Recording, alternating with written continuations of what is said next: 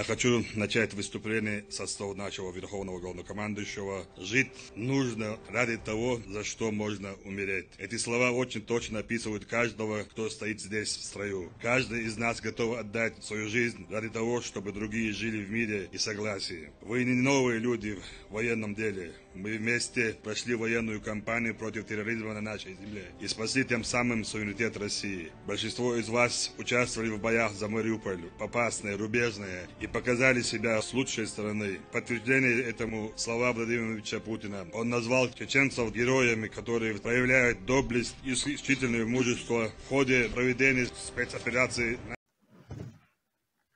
Хорошо, йдеш, а ну цим правым, цим возьми, да. Выключение туда под нос. Блять, слышь, а пролет держится тоже весело. Ты бачиш, э, эти самі маленькі остались. Сука.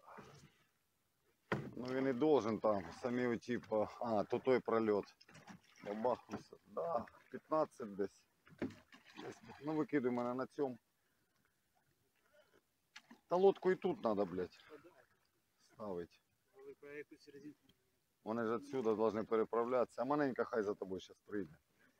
І... А вони зараз всі прийдуть сюди. Де от і ставить? Ти туди на берег. Все, цим веслом, цим, цим, цим. Ну от я і сняв. Под веревку йди. Веревку можна і взяти і дотягнутися. Все, все, все, все, весла склади. На веревку бери. О.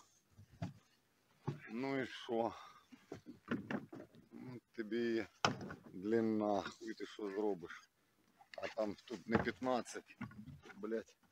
Все, блять.